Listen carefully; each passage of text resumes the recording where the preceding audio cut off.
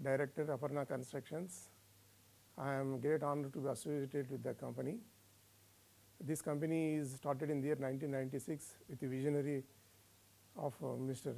S. Subramaniam Reddy and uh, C. Venkateshwar Reddy. And I had a great privilege to be with the company right from day one. And uh, as this company basic uh, fundamentals and uh, uh, with the goals of uh, giving a customers uh, good quality of the houses, apartments and uh, layout with open plots.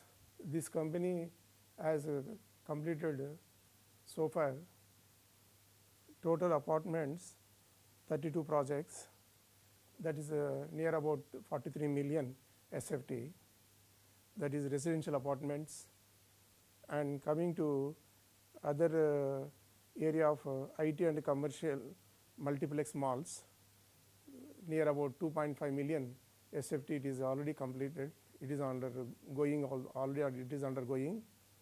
And the open layout with plots uh, gated open layout with plots. So far this company has completed 15 numbers 15 projects. And coming to gated communities with independent villas. So, it is completed about so far 4 million SFT.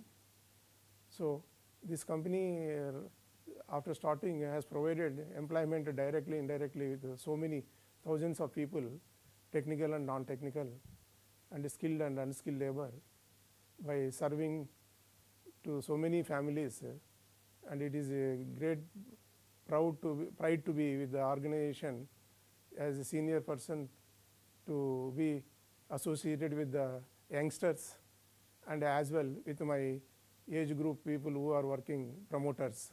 So, I take it this as a privilege and I expect this company the young directors who have taken over Mr.